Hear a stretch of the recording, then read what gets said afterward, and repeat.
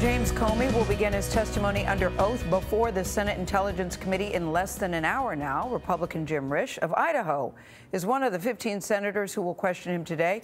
So here's a look at the seating chart for this morning's hearing. Risch, as you can see, will be seated right next to the chairman. He's been a member of the Senate Intelligence Committee since 2009, and he joins us now from Capitol Hill. Senator, big day today. Listen, big doings, no question about big it. Big doings is right. there are reports that several of your colleagues either rewrote or revised their questions after seeing Comey's opening statements. Were you one of those? Uh, no, I hadn't, uh, didn't have any uh, questions written down before that. But uh, what's your focus I, I today? think that was very. I'm sorry. Go ahead. No, you go ahead. You go ahead. Well, well I, uh, first of all, I was glad to get that seven pages. I mean, it's clear, it's concise. Uh, Jim Comey did an excellent job in in putting that together, and uh, it's, it's going to make it a lot easier for people questioning him today. Mm -hmm. So, what will be your focus today? What are you mostly interested in now that you've heard what he has to say? Well, uh, obviously, uh, uh, I'm interested in the uh, in him confirming the uh, what he said in the seven pages. I, am sure he's not going to vary uh, from that, really, probably in any way, shape, or form. he's a bright guy. He's he's a person that's highly respected. He's a good lawyer. I'm an old prosecutor. He's an old prosecutor. Th this is not unfamiliar ground for either of us. I've been through a thousand investigations uh, while I was a prosecutor and charging decisions. So, um, look, we're, we're going to uh, try to get to uh, laying this thing out for the American people, and I think I think his seven pages have answered a lot of questions. There were nine reported one-on-one meetings between the President of the United States and his FBI director. Highly unusual. What questions does that raise for you?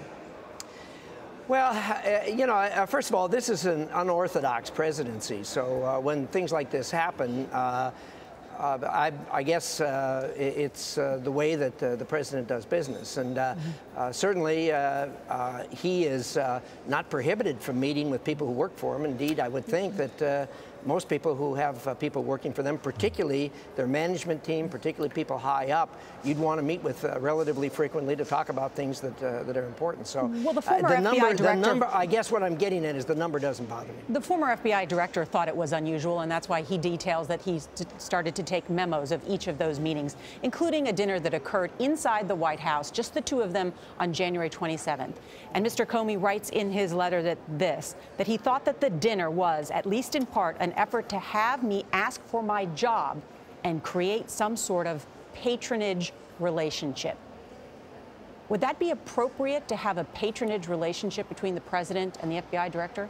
Well, I don't know what the, I, I don't, I read the conclusion and I didn't hear all the words that were spoken at the dinner, so I don't know uh, how that conclusion was reached. But uh, uh certainly uh, uh, the president employs the uh, that position along with all other positions. So uh, again, I, I, think we're going to hear more about it today, and, and, I'm reluctant to either criticize or defend without hearing more about it.